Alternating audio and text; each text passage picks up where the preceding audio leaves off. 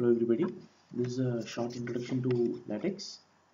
Um, before downloading and installing LaTeX, we just see uh, some basic, some overview of uh, what what it is and what are the different variants available. So as you can see here, um, basically La LaTeX needs two different things to be installed for you to work in LaTeX. One is called LaTeX distribution and the other one is uh, the text editor. So text editor is something similar to a notepad where you will be typing in the LaTeX commands uh, with the syntax and pro programs kind of with the structure and uh, distribution is something similar to a compiler which compiles and converts the LaTeX commands what you are typing into a readable PDF document. You need to download and install both and as you can see in the screen there are so many different latex uh, editors like there are different different variants like there are different uh, variants of this like this Octex and Texmaker uh, this TeXnicCenter this latex suite there are many many and many. So among this what we we are going to use is going to be demonstrated in this video is something which is known as TeXnicCenter. So uh, basically this video is more for students of OVGU or for uh, EEIT faculty, Electrical Engineering and Information Technology. So there uh, in the faculty it is recommended to use TeXnicCenter.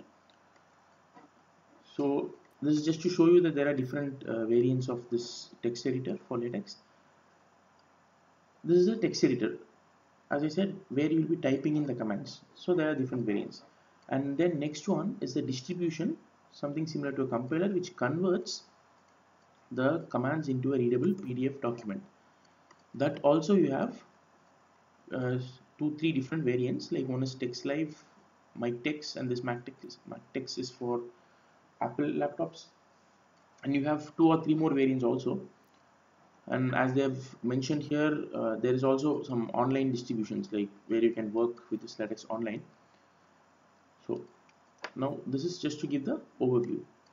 Now we'll go on with how to download and install our variant of this TeXnicCenter. So from this link you can download TeXnicCenter. It's all uh, freeware. You don't have to pay anything for this. So you can just go to this is a home page of TeXnicCenter and then you can go to download. You can download as per your uh, operating system. So minus Windows 8 so I just download this 64-bit uh, variant.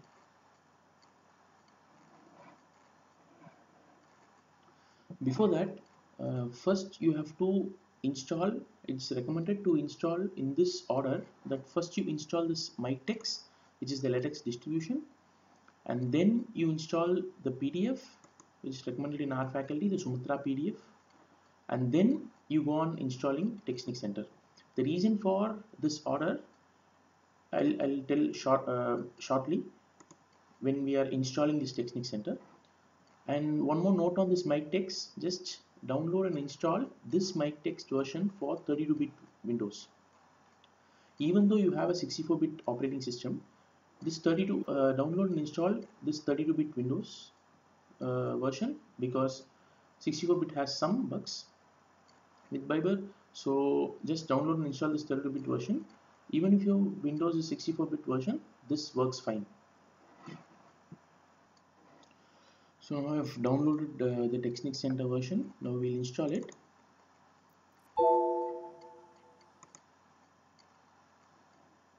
so we just go on as usual. Then here you can see that there are two different versions the Deutsch version of the templates and English version of the templates.